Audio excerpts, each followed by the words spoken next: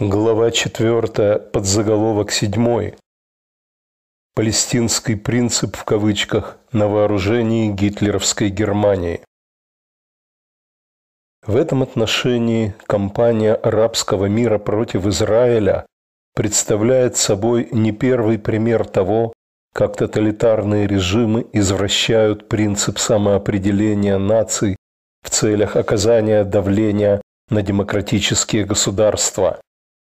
Самым известным примером такого рода является история гитлеровской оккупации Чехословакии. Сегодня представляется уместным напомнить некоторые подробности этой истории, поскольку арабы в точности повторяют действия нацистской Германии в период, предшествовавший Второй мировой войне. Чехословакия расположена на стратегически важном перекрестке в центральной части европейского континента, и ее завоевание было необходимым звеном гитлеровского плана покорения Европы. Эта небольшая страна была способна выставить на поле сражения 800 тысяч человек, причем чехословацкая армия считалась одной из сильнейших в Европе. Ее мощь основывалась на высокоразвитой оборонной промышленности, производившей новейшие виды вооружений. Задача Гитлера осложнялась еще и тем, что западная граница Чехословакии была надежно защищена труднопроходимым горным хребтом. Там расположены знаменитые Судеты и Рудные горы. Чешское правительство возвело в этом районе разветвленный комплекс оборонительных сооружений, прикрывавший подступы к Праге. Из последующих показаний на Нюрнбергском процессе стало известно, что немецкие генералы категорически возражали против предложенного Гитлером плана прорыва судетских укреплений, поскольку эта задача казалась им невыполнимой в военном отношении.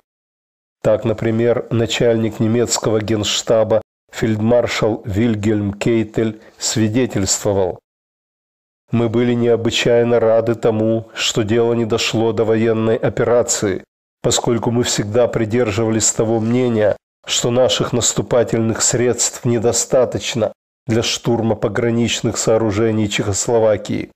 С чисто военной точки зрения у нас просто не было средств для атаки, которая разбилась бы как волна о волнолом пограничных укреплений в Судетах.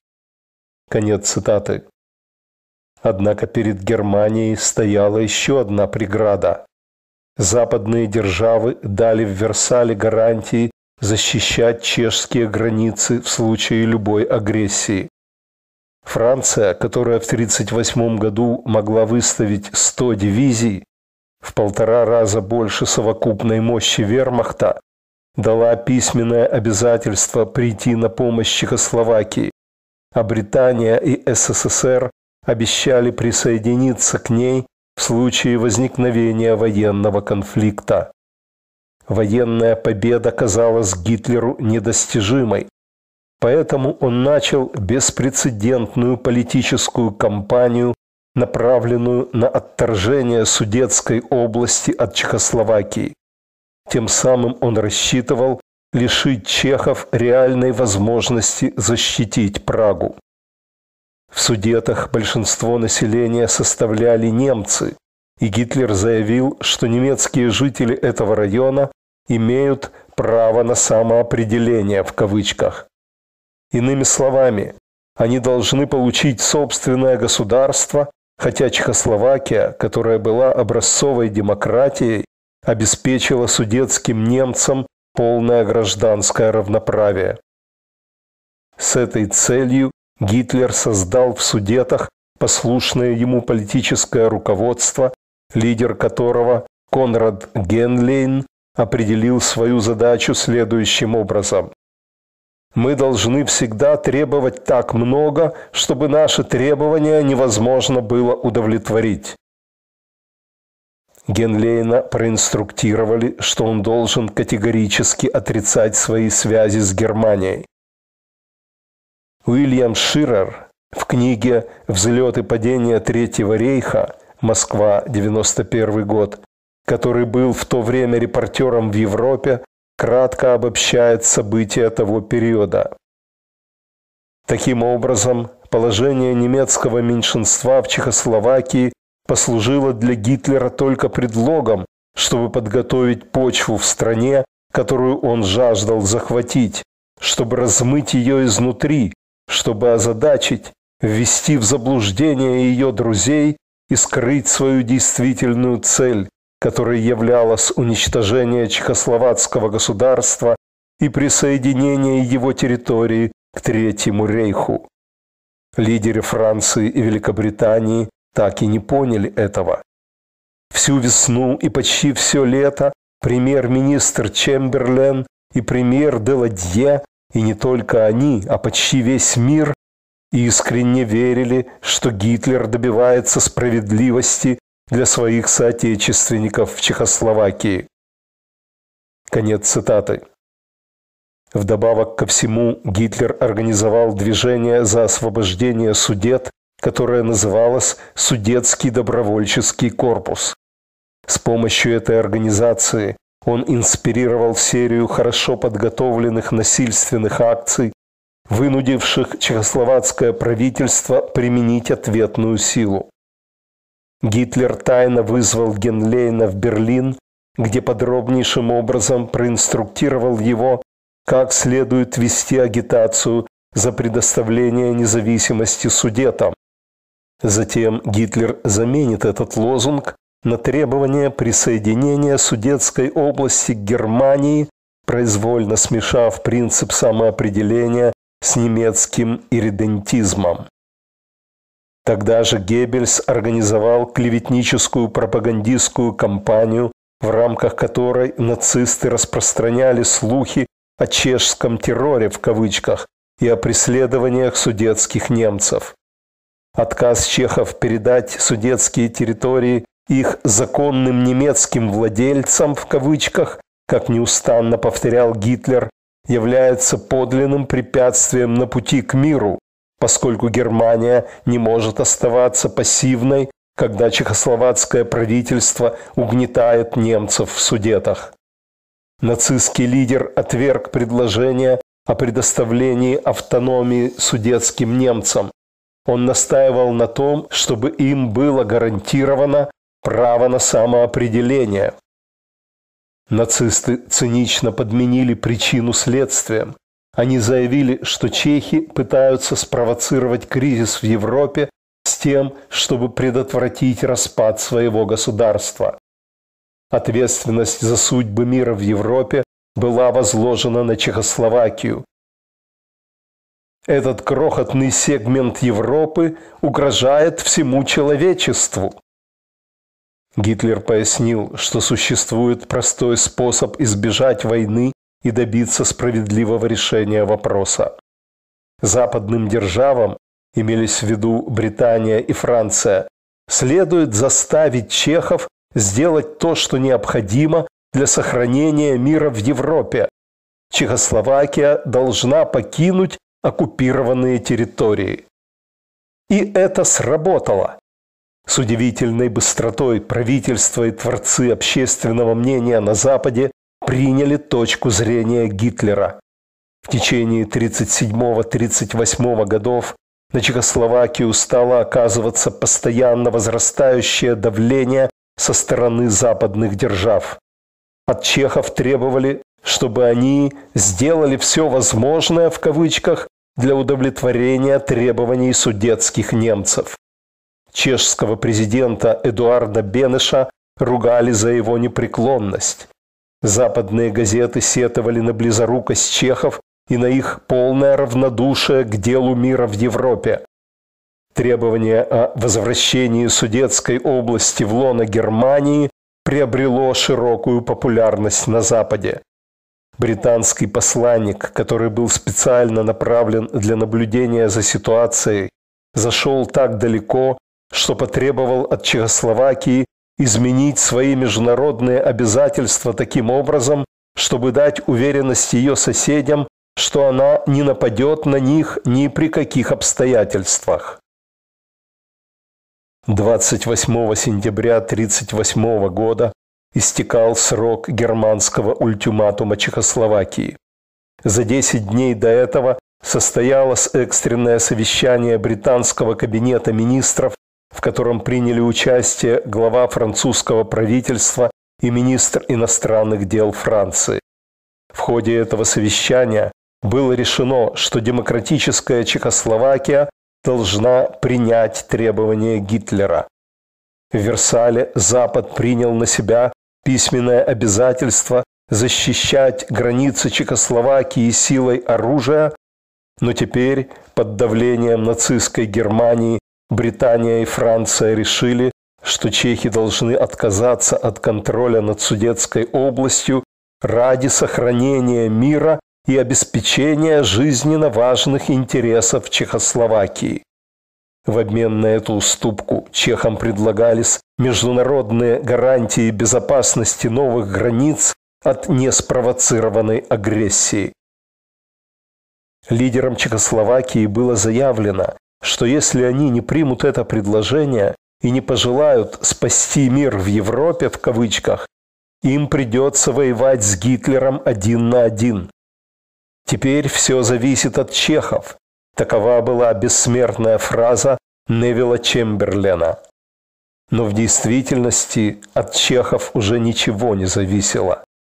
Чемберлен понимал, что если Чехословакия станет защищаться, Франция и Британия могут оказаться перед необходимостью вступить в войну.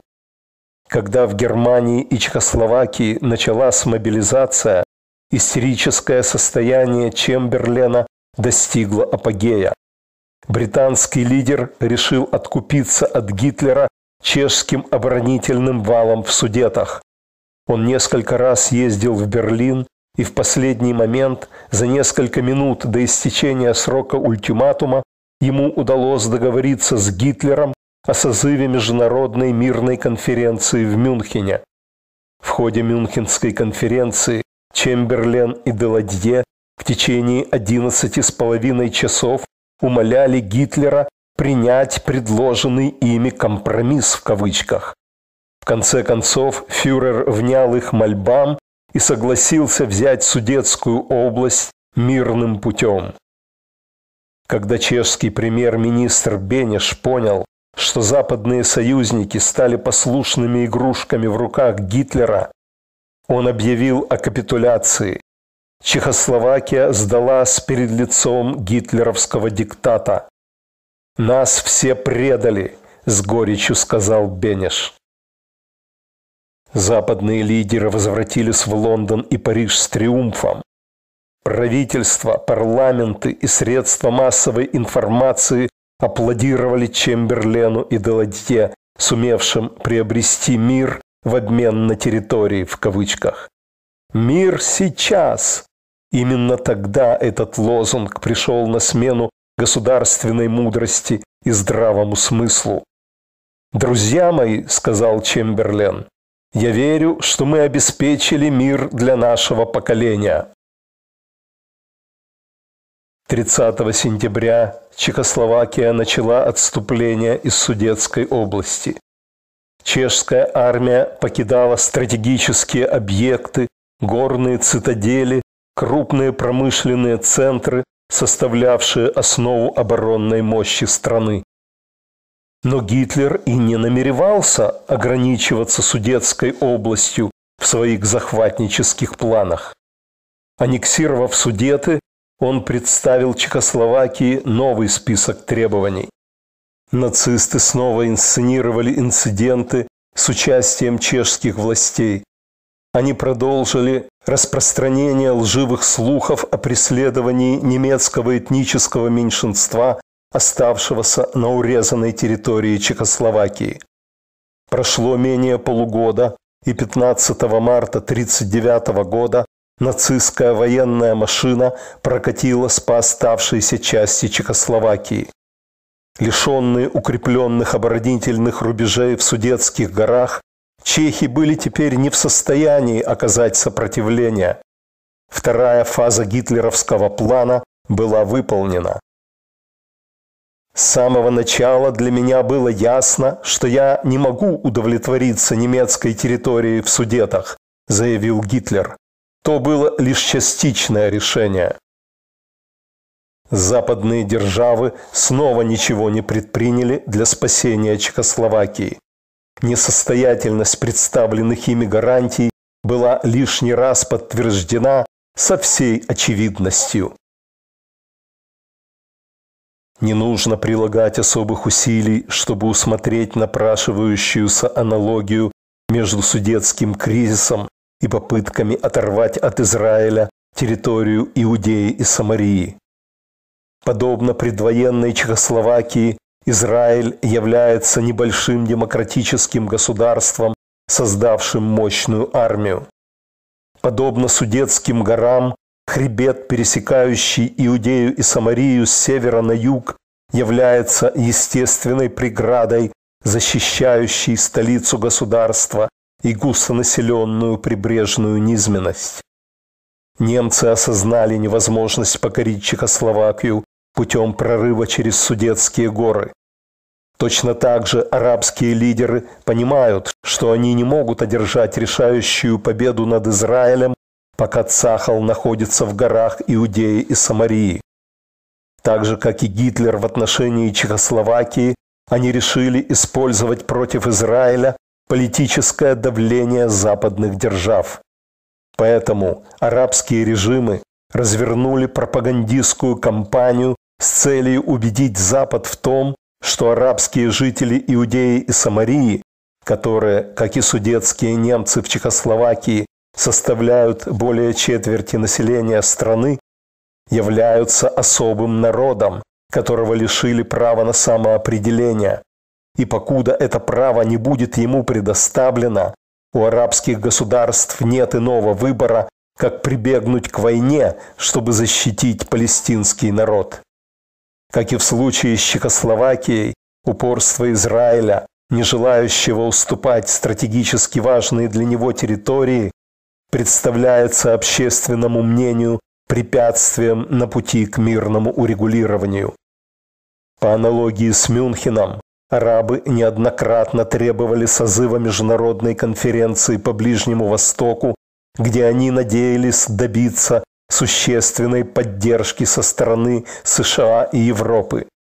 Арабы уповают на появление американского Чемберлена, способного заставить Израиль принять их требования. Не следует удивляться тому, что в этой области, как и во многих иных сферах, арабы последовательно используют методы из арсенала нацистской пропаганды. Печально и удивительно то, что их демагогические доводы были с готовностью усвоены многими на Западе. Не проходит и дня без того, чтобы какое-нибудь престижное издание не опубликовало редакционную статью, призывающую Израиль смириться с решением, в точности повторяющим Мюнхенскую капитуляцию Запада перед нацистами. Обозреватели и комментаторы уверяют читателей в том, что Израилю пойдет только на пользу отступление из Иудеи и Самарии, поскольку в этом случае он избавится от значительной части арабского меньшинства и добьется этнической однородности. Кстати, и этот довод не нов.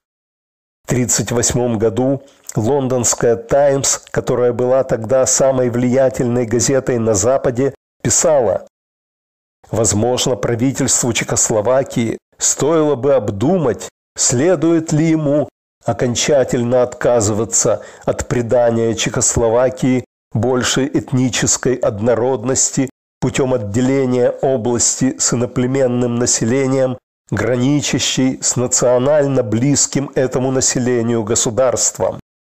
Выгоды для Чехословакии от превращения в этнически более однородное государство могли бы, пожалуй, перевесить те потери, которые связаны с отказом от контроля над областью судетских немцев.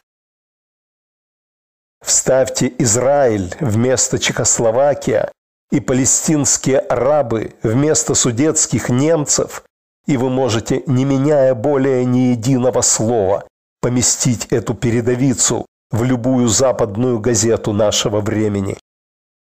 Израиль, против которого направлены воинственные замыслы большей части арабского мира, кажется творцам общественного мнения на Западе виновной стороной конфликта, упорствующей в своих заблуждениях и не желающей устранить препятствия с пути к справедливому мирному урегулированию.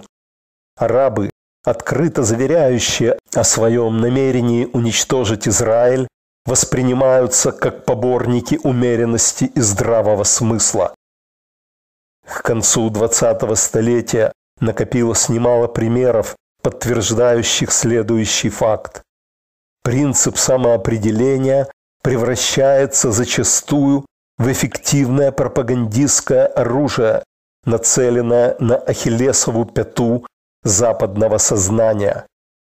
Граждане демократических государств Запада, имеющие долгую традицию уважения к правам человека и к национальной свободе, легкомысленно склоняются на сторону свежеиспеченного палестинского народа, так же, как некогда они склонялись на сторону судетских немцев, требовавших права на самоопределение. Таким образом, именно этот тезис арабской пропаганды может оказаться более действенным, чем попытки представить ближневосточный конфликт как результат израильской агрессии или как следствие проблемы беженцев. Как только арабы заметили слабость, питаемую Западом к образу угнетенного народа, сразающегося за свою «свободу» в кавычках, вся пропагандистская машина арабского мира была переоборудована для изготовления соответствующих аргументов на этой основе. Арабы поняли, что они могут убедить общественное мнение на Западе в справедливости позиции, декларируемой ими с 1967 года. Присутствие Израиля на территориях, занятых в ходе шестидневной войны, является изначально и по существу безнравственным. Таким образом, безнравственным является любое действие, направленное на укрепление еврейского государства, пока оно не вернулось к уязвимым предвоенным границам. Два обстоятельства значительно способствовали распространению этих идей на Западе. Начало палестинской интифады и развитие дискуссии о еврейских поселениях в Иудее, Самарии и Газе. В последние годы эти вопросы служили катализатором антиизраильской активности ООП на международной арене. Интифада стала подарком судьбы для ООП, которая стремительно теряла свой престиж и среди арабов, и во всем мире, начиная с 1982 года, когда израильская армия уничтожила опорные пункты палестинского террора в Ливане. ООП лишилась территориальной базы, с которой можно было осуществлять военные акции против Израиля. Командные пункты этой организации были изгнаны из Бейрута в Тунис, и ООП оказалась в состоянии глубокого идеологического и политического кризиса.